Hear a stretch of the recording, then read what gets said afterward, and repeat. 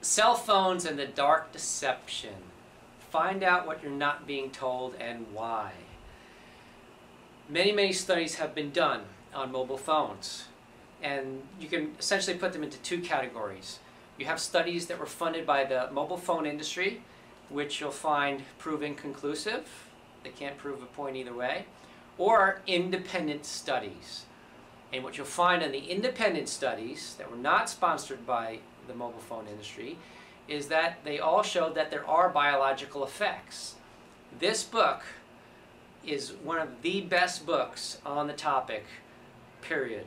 Um, open up and you will see, here's what she's written, and there's all the footnotes down there that give the scientific studies that show that this is science. It's not hoity-toity, airy-fairy um, stuff. A lot of these studies were done over in Europe by experts in the mobile phone industry.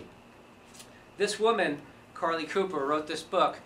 Her husband built the base stations for these mobile phones, and he suffered from radiation poisoning. Uh, it eventually took his life. So she was pretty upset and had done research for years. Um, put it all together in this book, and here you have the best book to get if you would like to show someone who's a non-believer in the dangerous uh, effects from mobile phones.